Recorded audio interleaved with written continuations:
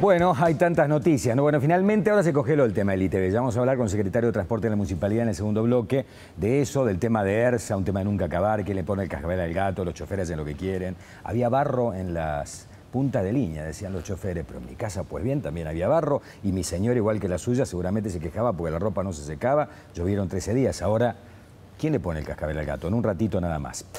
Temas económicos, ha habido muchos esta semana. Se conoció el índice de inflación Congreso, se lanzaron los créditos hipotecarios que son difíciles por allí de entender cuál es la operatoria. Tenemos gente que sabe mucho del tema y lo va a saber explicar. Y además el tema del acuerdo con Holdout, si esta decisión, este fallo de la Cámara en Nueva York que favorece a la República Argentina. Presentamos el tema y ya venimos con los invitados lo que vamos a ver nuevamente una inflación muy elevada que va a tener, si se quiere, como un piso del 5 o 5,5%, ¿no? con lo cual la situación de inflación aún es preocupante, vemos que en términos anuales todavía se sigue acelerando y el rubro de alimentos y bebidas todavía es un componente que, que explica mucho de esta inflación y que es lo que más le impacta a la gente. ¿no? Bueno, dos viejos amigos de la casa. Gastón Utrera está con nosotros hace rato que no venía Gastón. ¿Cómo te va Gastón? Un gusto. Muy bien, Beto. Muchas gracias por la invitación. Y Jorge Ingaramo, que viene más seguido. ¿Cómo le va, Jorge? Gracias por invitarme. Bueno, arranquemos con el tema de la inflación. Tema que preocupa muchísimo a la gente. La gente dice el tema de los holdouts, yo lo veo como muy lejano. El tema del crédito hipotecario, yo gracias a Dios tengo gas, o no, o no sé si voy a poder acceder. Hay mucha gente que tiene necesidad de vivienda y por eso vamos a hablar del tema. Pero el tema de la inflación nos golpea todos los días cuando vamos a pagar un servicio, cuando salimos a comprar algo. Yo me sorprendí con el precio de la carne esta semana la carnicería que voy siempre, aumentaron 25 pesos el, kilo de carne. Y digo, ¿por qué? Y porque llovió. Entonces no entra a Liniers la cantidad de novillos en pie que tiene entonces el precio de la carne. Pero tanto, viejo, y la semana que viene va a bajar. No compre carne. ¿Qué vamos a hacer con todo esto? Arranquemos con la inflación. Se conoció el índice de Congreso, 3.4 creo fue el índice de Congreso finalmente, casi 10 en el primer trimestre. O 12 según el índice capital la inflación va a bajar en mayo y en junio, después que se, de, estos ajustes tarifarios. Esa es la inflación del índice, la que miden los índices con los ajustes tarifarios, que siempre es mucho más botona que la que miden los fundamentals. En los fundamentals, la inflación subyacente en el sistema del punto de vista monetario y fiscal no pasa del 22% anual, o sea, está en el 1,7% mensual. Eso va a ser la inflación que van a tener que combatir. Tienen que bajar rápidamente del 1,7% de inflación subyacente a menos del 1% en el segundo semestre. Para hacer eso, primero, seguir con la misma política monetaria y fiscal que siguieron hasta febrero, por lo menos que es la que sabemos. En, en fiscal lo que hicieron hasta febrero estuvo bastante bien con lo poco que había por hacer, porque no es, no es mucho que se puede hacer. Vos sabés bien que el... Pero el gobierno no hace nada, no es que mucho. ¿Qué hace el gobierno para el, el, eh, no, el redujo... a ver, un momento. Redujo el, el gasto manejable. Vos sabés que el gasto público nacional tiene, de cada 100 pesos, 55 son salarios, asignaciones familiares, jubilaciones y deuda, que no se pueden tocar. Te quedan 45 pesos. De ese 45 pesos, ellos bajaron el 15% entre octubre y febrero. Tuvieron bastante bien. En la parte monetaria, muy bien. La liquidez primaria de la economía, o sea, la guita que hay circulando, nominalmente bajó 11% en lo que va del año. Quiere decir que si la inflación fue el 12, en términos reales bajó 23%. O sea, la política monetaria fiscal está bien. Se equivocaron y grande con el tipo de cambio. Dejaron subir de 13 pesos el dólar a mediados de enero a 16 pesos el primero de marzo. Craso error subiendo el tipo de cambio y bajando la tasa de interés, no se combate la inflación, sino que se la alimenta. Ahora lo tienen que corregir. por, eso, por eso largaron todas las medidas de shock juntas eh, a, fines de marzo y ahora tienen que apretar los dientes y aguantarse las puteadas y en el mes de junio realmente van a conseguir una inflación mucho más baja que la actual. ¿Será realmente así? Porque se, aumentan los servicios, se aumenta la nafta, siguen aumentando la nafta, no, 6%. por eso, pero para. Pero van a seguir aumentando. Con ese, criterio. Ayer le clavaron 35% al gas licuado de petróleo que no iba a aumentar porque en realidad lo que querían era equiparar. Índice, el índice, te voy a repetir, esa inflación del índice, todo el mundo habla de inflación del 40%. Cuando vos vas a ver la recaudación del IVA mercado interno, el primer trimestre del año aumentó 23,6%, no aumentó 40%, aumentó 23,6%. ¿Por qué? Porque la gente no tiene guita. Es más simple que el miércoles. Es más simple. O sea, la inflación que vos ves en la góndola, o la que te cobró el carnicero a vos, es, es una inflación biribiri, digamos. La inflación verdadera. Pero si no, no, me llevo la carne, o no, me llevo las latas, come otra o no cosa. me llevo Come pollo, que es más barato. ya, estoy, ya estoy con el arroz manía hasta acá. Gastón. Mira, Beto, yo tengo una visión diferente a la de Jorge, porque creo que además de eh, ciertos factores monetarios y fiscales que impactan sobre la inflación, cuando la inflación es alta, como lo es en Argentina desde hace años, después que la inflación empieza a ser alta, se activa otro fenómeno que no es de índole monetaria ni fiscal, que tiene que ver con salarios que suben porque subieron los precios y precios que terminan subiendo porque suben los salarios, de tal manera que eso le genera cierta estabilidad a la inflación.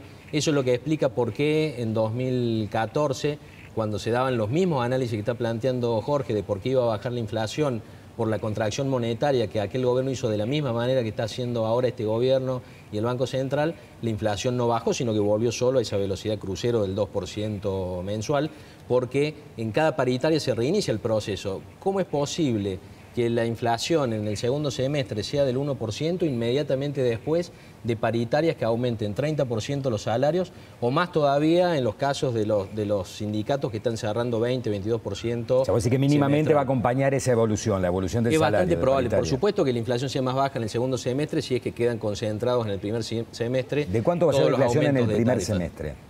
En el primer semestre probablemente sea prácticamente toda la pauta de la meta de inflación de entre 20 y 25%. Que había tirado Treaca a comienzo de año. Y que por supuesto este, que la planteó Alfonso Pratgay y que aritméticamente no es cumplible con un semestre con inflación entre 3 y 4%. ¿Y qué otra cosa hay que hacer entonces, a tu juicio, para bajar la inflación? ¿Qué más puede hacer el gobierno? Primero creo que este año ya está jugada una inflación eh, alta, va a ser muy difícil que pueda bajar la inflación y todo el esfuerzo monetario para tratar de bajar la inflación termina siendo muy recesivo. De hecho, la economía está cayendo desde mitad del año pasado y hasta ahora no ha parado de caer. La economía en general ha caído 2,5% desde mitad del año pasado. La construcción ha caído 15% si uno lo mide con los despachos de, cemento. La industria ha caído este, 3%. Eh, es muy difícil que este, logre revertir solo con ajuste monetario, revertir el proceso inflacionario solo con ajuste monetario.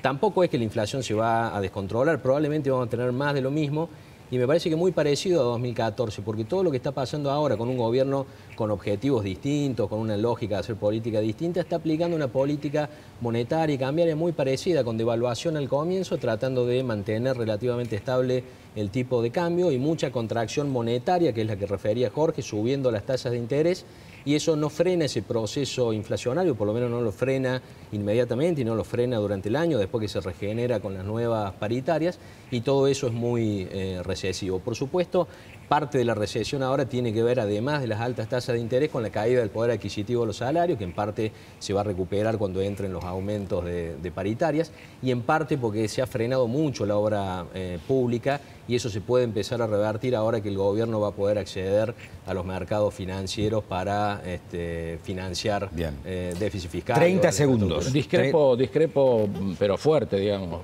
bastante feo, digamos. Yo creo que se va a conseguir la pauta eh, de, de pero para el año. Yo creo que en el año vamos a tener un 22-23% en Córdoba. ¿De inflación en todo el año? Sí, sí. Porque va a bajar, porque van a congelar el tipo de cambio, porque van, van, entran divisas, congelan el tipo de cambio y tiran abajo los precios. Eso no hay ninguna duda, es lo que van a hacer ahora. No, les, no tienen más remedio. Incluso si quieren bajarla más todavía, tienen que atrasar el tipo de cambio. En que, que, en, agosto el, el, tipo de cambio en lugar de ser 14,50 sea 13,50. Eso lo pueden hacer tienen el instrumento en la mano. Hay una gran cosecha, va a entrar, va a entrar van a entrar dólares. pero no hay problemas ahora con la cosecha entre Ríos, Santa Fe, con las inundaciones y todo pero bueno, de 60 millones, de, 60 millones de toneladas bajarán a 57. ¿Cuál es el problema? ¿Cuál es la diferencia? Además, entra, va a entrar rápido la guita de los holdouts.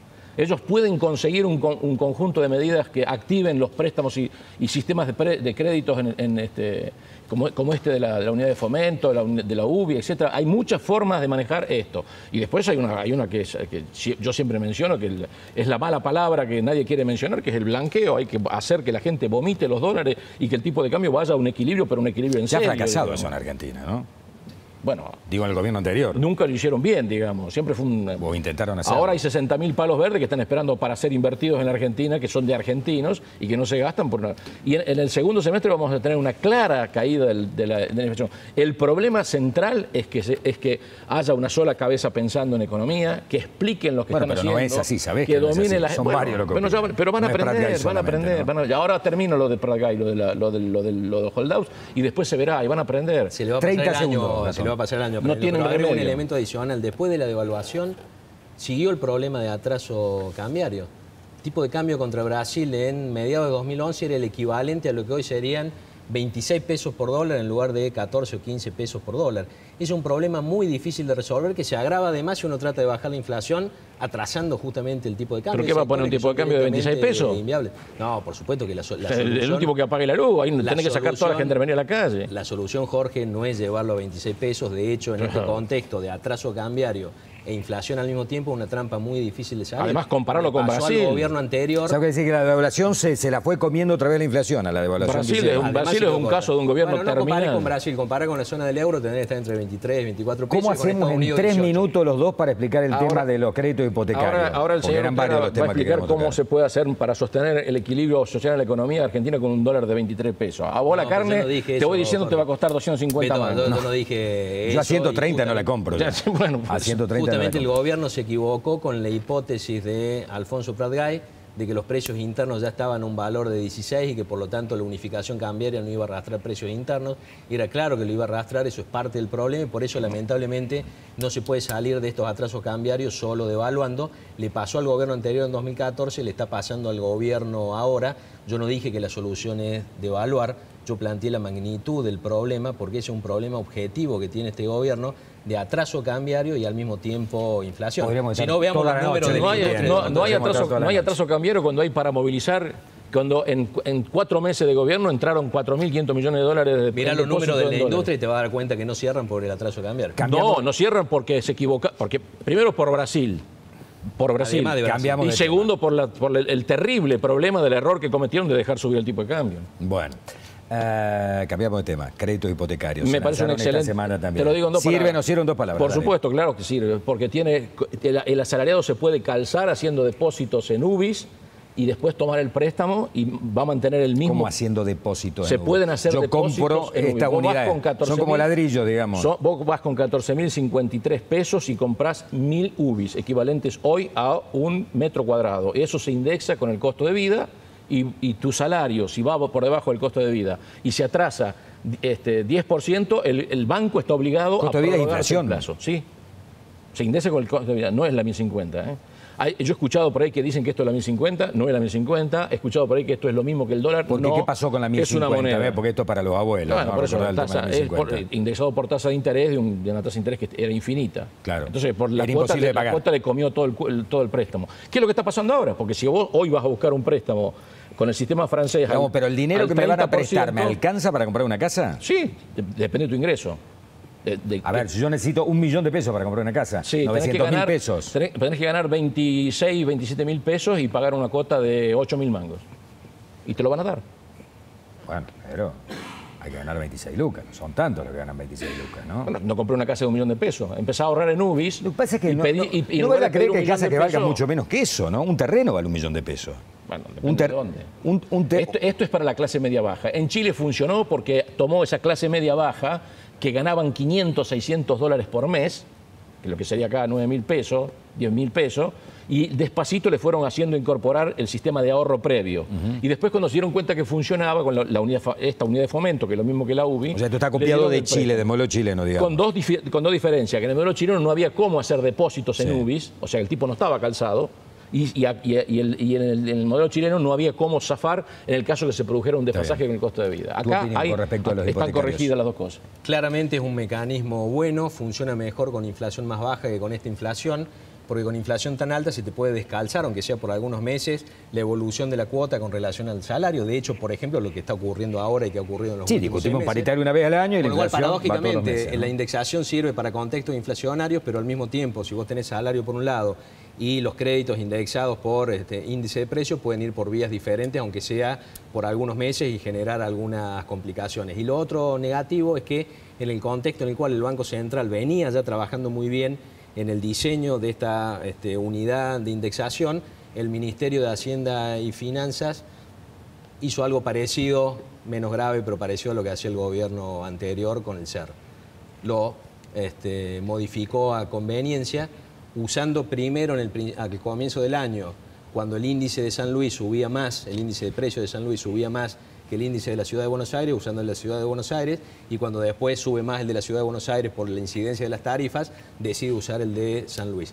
Eso no juega eh, a favor porque después cuando vas a depositar, vos podés pensar que otro gobierno de cualquier signo político probablemente termine de una u otra manera distorsionando ese índice, de ajuste y haciéndote Este año, a la gente que le recomiendan simplemente esto, ya no tenemos que ir, que ahora vaya y averigüe e intente sacar un crédito o espere que baje, como vos decís, la inflación en el segundo semestre del año. Si ahora tiene plata y, puede hacer un, plazo fijo en UBIS por 180 días, ahí se va a ir. Es un buen negocio, una buena inversión. No, sé si una buena inversión. Va, a ir, va a ir comprando un metro cuadrado, un metro cuadrado, un metro cuadrado. Cuando tenga el 25% de, de su casita, va y le pide al banco el 75% restante. Que no se apure que lo, pero que lo haga. que va a estar, si se diera lo que dice Jorge, que el dólar va a bajar este, y que la inflación, bueno, si la inflación este, baja, puede acompañar eso, pero puede ser una buena inversión si ocurre lo que dice Jorge con el tipo de cambio y ocurre lo que creo que va a ocurrir con eh, los precios, que van a seguir siendo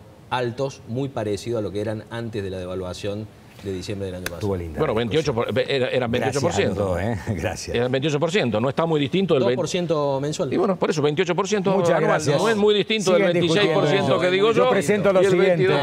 Volvió Cristina esta semana, vino a indagatoria Cristina. A ver, lo vemos. Volvió Cristina.